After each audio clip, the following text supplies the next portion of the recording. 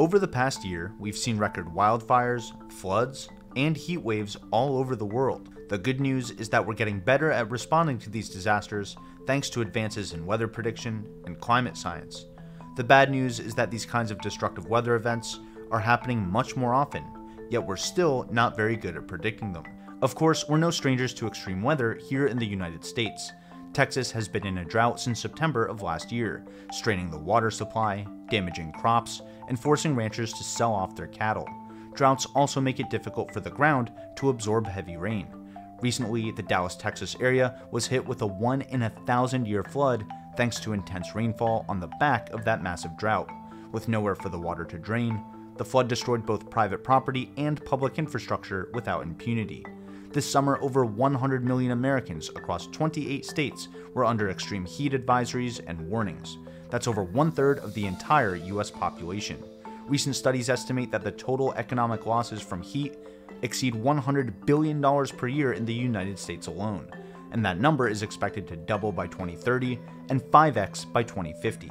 But when it comes to extreme weather, the United States isn't alone. Millions of people across India and Bangladesh are being affected by heavy rains causing raging floods and landslides, killing hundreds and displacing hundreds of thousands.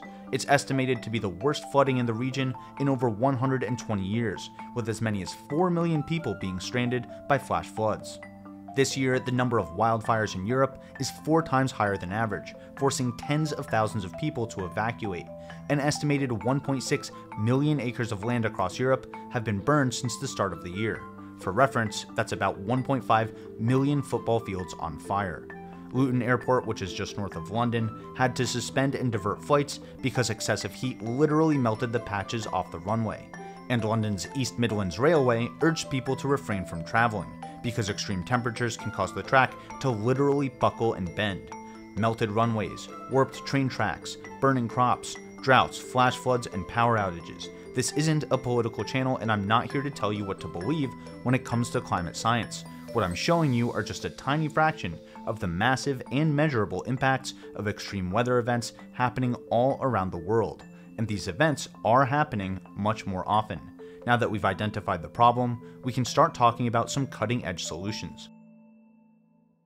First off, it's important to understand the difference between climate and weather. When we talk about the weather, we're talking about temperature, humidity, precipitation, visibility, wind speeds, pressure, and so on. So extreme weather events are when these measures are very far from normal. Extreme rain, extreme heat, extreme winds. At a high level, the weather is the way atmospheric events affect our lives in the short term hours, days, weeks, and even seasons. The way we predict weather is pretty straightforward. Data is gathered from satellites and weather stations that monitor the atmosphere. Then that data is used in two different ways. First, it's put into models that try to predict what future weather updates would look like. For example, let's say a satellite sees different wind directions changing, wind speeds picking up, and cloud cover increasing over a coastline. That data would get fed into a model that helps decide if we're seeing a normal weather pattern, the start of a storm system, or something else entirely. If it is a storm, a different model might try to predict that storm's 3D structure, its footprint on the ground, its intensity and direction, and so on. That data is also used to correct past predictions and retrain the weather models to make them more accurate over time. Weather models are currently updated roughly every 6 hours to account for the most recent observations in their forecasts. So, weather models ask questions like if a weather satellite does see a storm, how different is the actual storm from what the model predicted? And what should it adjust to reduce these differences in the future? You might be wondering if it takes a lot of computing power to predict global weather patterns, 3D structures in the atmosphere, and their effects over the entire surface of the Earth. The answer is yes. In fact, weather prediction is one of the biggest drivers for supercomputers to keep improving over time. This summer, the National Oceanic and Atmospheric Administration debuted two new supercomputers named Dogwood and Cactus. These new NOAA supercomputers are tied for the 49th and 50th fastest supercomputers in the world.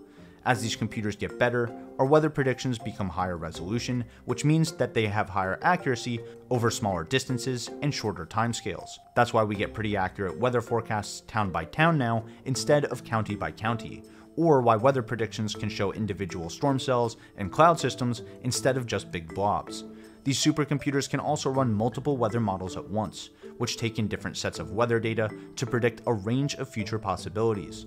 Likewise, it also lets NOAA scientists analyze more data from better sources, such as newer satellites with better sensors on them. But what these supercomputers don't help us do is predict weather further out into the future. Today, 5 day forecasts are accurate around 90% of the time. 7 day forecasts are accurate about 80% of the time, and 10 day forecasts are only accurate about half the time. That doesn't sound so bad, but it also matters just how wrong a forecast can be. And they can be very wrong. Here, let me show you. In 2015, then New York City Mayor Bill de Blasio issued a severe snowstorm warning. He was quoted saying this could be the biggest snowstorm in the history of the city. My message for New Yorkers is to prepare for something worse than we have ever seen before. End quote. New York City authorities imposed a driving ban, and for the first time in history, the subway was shut down in anticipation of snow. When the snow finally came, New York City got a whopping 5 inches, which wasn't even 15% of the forecasted 3 feet. Still, it's better to be safe than sorry. On the other hand, in March of 2020, 25 people died after a tornado ripped through central Tennessee, including Nashville. The tornado hit the downtown area late at night and caught many people unaware because the National Weather Service said that Nashville was only at a slight risk for severe weather. So these 25 deaths might have been prevented with proper warning. But severe storms don't usually offer much lead time because tornadoes happen quickly and then they're gone. So this is the real challenge. To prepare for extreme weather, we need to be able to predict it. But extreme weather by its nature is very unpredictable. And that begs the question, if bigger and faster supercomputers can't save us, what can? While faster and more powerful supercomputers give us higher resolution weather estimates and more confident predictions, they don't help us predict extreme weather further in advance. That's where climate data comes in. Predicting climate change, so to develop strategies to mitigate and adapt, is arguably one of the greatest challenges facing society today. We don't currently have the ability to accurately predict the climate decades out. Although much is known about the physics, the scale of the simulation is daunting. Climate simulation is much harder than weather simulation, which largely models atmospheric physics, and the accuracy of the model can be validated every few days. Long term climate prediction must model the physics of Earth's atmosphere, oceans and waters, ice, the lands, and human activities, and all of their interplay. Further, simulation resolutions of 1 to 10 meters are needed to incorporate effects like low atmospheric clouds that reflect sun's radiation back to space. Ignoring these contributions accumulates a significant error in the long-term predictions. This is 10 to 100,000 times higher resolution than any weather simulation today. There are no computers big enough that we can build. We need a computer science breakthrough. The big challenge with climate simulations today is that they need to account for very small changes over Earth's entire surface and atmosphere over very long periods of time. Things like clouds reflecting sunlight back into space, CO2 emissions from large industrial sites, and changes in depth for smaller bodies of water. If these models don't capture these finer details, the resulting errors start compounding pretty fast as the prediction goes further out in time. Current state of the art climate simulations only have around 10 to 100 kilometer resolutions. That's roughly the size of Manhattan, but the problem requires the model's resolution to be roughly the size of your desk. One potential solution is just to wait for computers to get about a million times better. At the current rate that computers are improving, that would take about 30 to 40 years. But droughts, flash floods, wildfires, and hurricanes are all already problems today, and they're becoming much more frequent. Well, it turns out that there are other ways to start chipping away at this problem.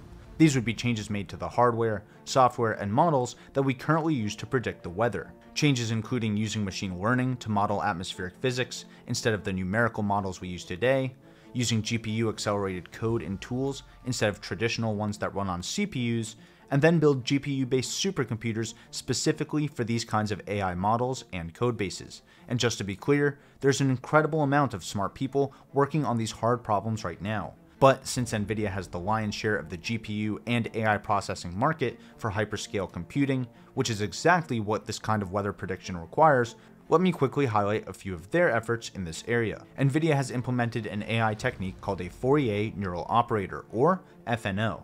The goal of this technique is to use a combination of AI and physics models to learn how to behave like complex physical systems.